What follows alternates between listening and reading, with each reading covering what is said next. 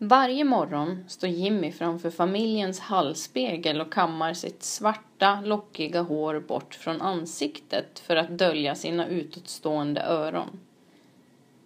Han kan stå i timmar framför spegeln och betrakta sig själv, sina bruna ögon och sin runda näsa som han ärvt efter sin mormor och som hans mamma brukar pussa honom på. Hans mun är ganska stor och alldeles för lik en tjejs, tycker han själv.